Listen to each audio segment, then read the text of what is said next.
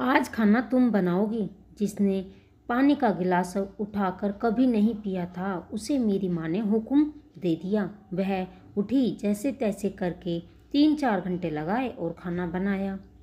मगर नमक मिर्च उस टेस्ट के हिसाब से नहीं थे जिसे परफेक्ट कहा जाता है। इसलिए घर के किसी भी व्यक्ति ने खाना नहीं खाया।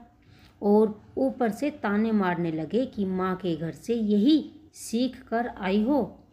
मैं आठ घंटे की ड्यूटी के बाद घर आया।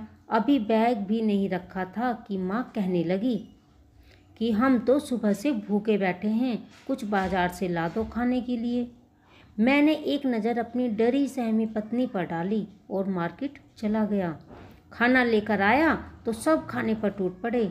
मैं अपनी पत्नी का हाथ पकड़कर उसे रसोई घर में ले आया। क्या पकाया है आज? वह अपने आंसुओं को आँखों में रोकते हुए मुस्कुराने लगी। बाकी सब की तरह तुम भी बाहर का खाना नहीं खाओगे? नहीं, मुझे तो अपनी बेटर वाइफ के हाथ का बना हुआ खाना ही खाना है। उसने रसोई घर में ही मेरे लिए खाना लगा दिया। जब मैंने चखा तो इतना भी बुरा नहीं था कि खाना खाया ना जा सके। मगर उसे इतना समय भी नहीं दिया गया कि वह अपनी गलती को ठीक कर ले। दोस्त मेरी पत्नी का नहीं था कि वह मास्टर कर रही थी और उसकी शादी हो गई। पढ़ाई के चक्कर में उसे घर का कामकाज करने का समय ही नहीं मिला और दोस्त मेरी माँ का भी नहीं था, जिसने हाउस वाइफ बनकर सारी ज़िंदगी अपने बच्चों और पति के लिए अच्छा खाना बनाया तो वह कैसे अपने बहू के हाथ का बना कम जायके वाला खाना खाती? मैंने उस दिन अपनी माँ की बात भी मान ली और पत्नी के हाथ का बना खाना भी खा लिया।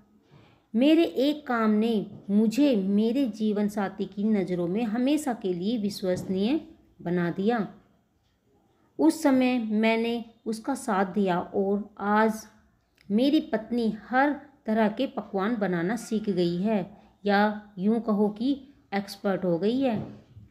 अगर उस दिन मार्केट से खाना ना लेकर आता तो माँ नाराज़ हो जाती और अगर मैं माँ की बात सुनकर पत्नी को सबके सामने डांट लगाता तो शायद उसकी नज़रों में गिर जाता और शायद वह मेरा आदर सम्मान करना छोड़ देती। रिश्तों में बैलेंस बनाकर रखना बहुत ज़रूरी होता है। नई नवेली बहू को इतना समय ज़रूर दे कि वह थोड़ा एडजस्ट कर सके। पहले पहले अगर उससे कोई गलती हो जाए तो उसे नज़रअंदाज कर दे और उसे अपनी गलती सुधारने का मौका ज़रूर दे। और उसे ये बताए कि आप उसके साथ हैं, ना कि उसे ताना मार कर ये बताए कि वह बाज़ार से आई है। और ससुराल वाले उसके लिए पराए हैं, क्योंकि एक औरत जब शादी करके अपने पति के साथ अपने ससुराल आती है तो वह उसका अपना घर बन जाता है। तो उस समय उसे एडजस्ट होने में अपने पति और सास के साथ की ज़रूरत होती है। हाँ अंत में लड़कियों के लिए ये ज़रूर कहूँगी कि वे थोड़ा बहुत क्यों ना हो। शादी से पहले घर का काम ज़रूर सीखें। आपको ये कहानी कैसी लगी? कमेंट करके ज़रूर बताएँ।